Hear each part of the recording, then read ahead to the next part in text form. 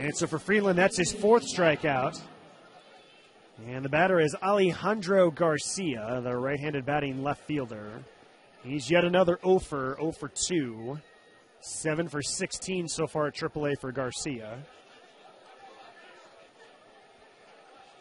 First pitch, chopper to the shortstop. Two hopper bending down at the knees is Valaika. He's got it over to first. That's another one, two, three inning for Kyle Freeland. That is 11 in a row set down by Freeland. It is time to stretch. Middle of the seventh inning here in Albuquerque, and the Isotopes have a 5 0 lead over the Fresno Grizzlies on the Albuquerque Isotopes Multimedia Network.